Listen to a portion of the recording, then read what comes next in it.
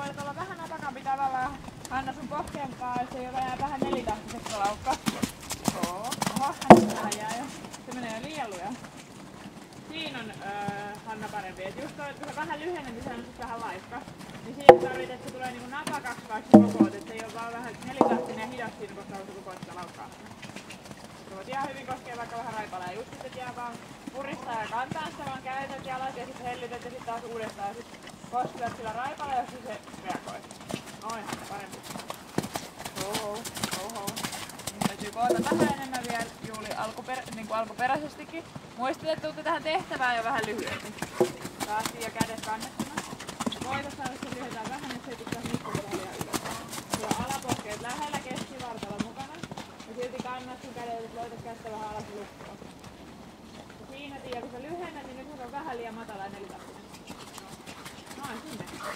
Sä ponnistaa ja pysyy niskasta alhaalla. Ja se ei ole niin, että sä lyhennät, niin se jää selä, niskasta ylös ja sit selkä alas ja sit tulee tuolla laiskaksi. Noin. Siinä tiedä. Saa olla vaikka se ei jaksais kauaakaan, mutta se olisi vähän enemmän töissä. Hyvä Hanna, hyvä. Nyt vähän eteen. Tuossa oli paremman ne lyhyemmät askeleet, että se ei jää niin hitaaksi sieltä takaisin. Okei. Sitten vaan tuli etäisyys sinne. Sitten taas istu tiiviisti sisäreidet reet. Paino vasemmalle jalustimelle, Hanna, että vähän putoo ulos. Oh, oh. Vielä tulee vähän liian kättä vasten. Koet vaikka ajatella siihen vähän avossa, on mahdollista. Paino sisäistyluulle. Sitten saat se vähän enemmän selän läpi sen lyhyemmän lauta. Sinne siihen. Vielä on. Se ei tässä vaan itseensä ja tuu niska ylös pelättämään. Kannattaa siihen sun ulkokäsi. Kääntyy ulkoa, Juuli. Hyvä. Noin, hyvä valtti siinä, Juuli. Koko hämiksen kaa ja pohkeelle yksi, kaa, koo. Oikein. Sitten taas oikea ranne suora.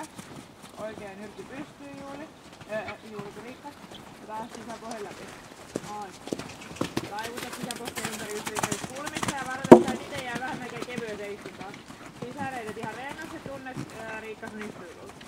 Ja ulkoavut kääntää, ulkoavut, ulkohe. Ja se jää vähän hitaaksi ja tässä jää vähän kättä vasten. Vieläkin mahdollista siihen tasan pyörä. Oikea ohje, vasen pohja, niska alas, sideksi jalat kiinni. Jos joutuu ponnistamaan takaa, niin silloin saat siihen sen niskan vähän alas.